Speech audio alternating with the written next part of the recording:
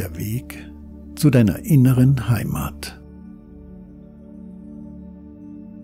Zum Anfang möchte ich dich noch einmal darauf hinweisen, dass die Übungen aufeinander aufbauen.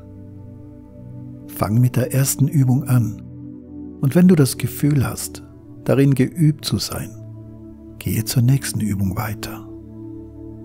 Gehe der Reihe nach vor.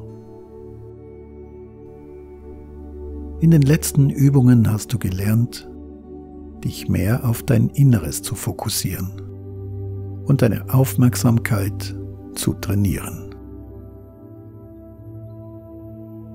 Konzentration ist dir bestimmt ein Begriff. Die Sonnenstrahlen haben einzeln keine große Kraft. Erst wenn sie gebündelt sind, können sie sich zu einer riesigen Energie entwickeln. Um dir ein Bild davon zu machen, stell dir vor, du verwendest eine Lupe. Wenn du sie unter der Sonne hin und her bewegst, hat sie wenig Wirkung.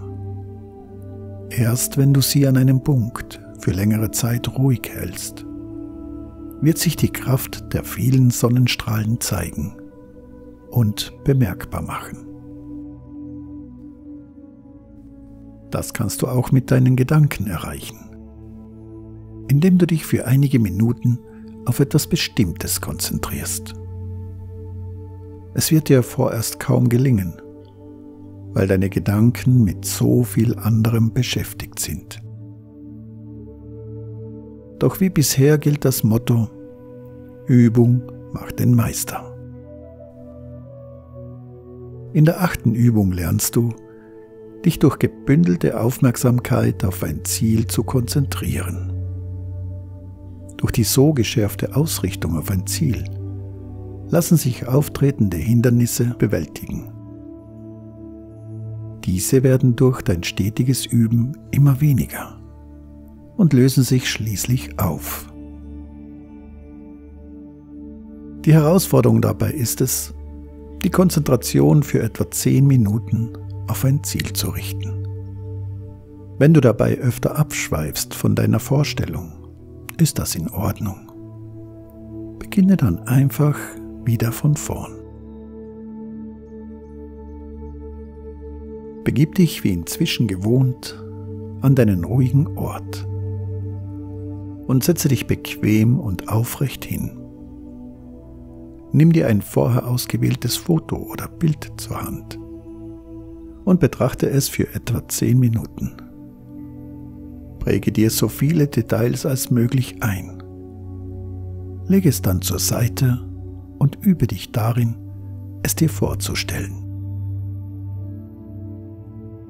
Wenn es dir gelingt, das Foto oder Bild vor deinem Auge als geistige Kopie zu sehen, gratuliere ich dir. Wenn nicht, wiederhole die Übung so lange, bis es dir gelungen ist. Übe in deinem eigenen Tempo.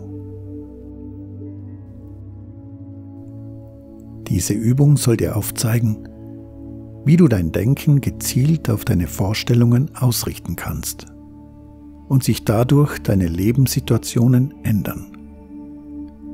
Es wird dir bewusst, wie viel Macht du inzwischen hast, dein Denken und in Folge dein Leben zu gestalten.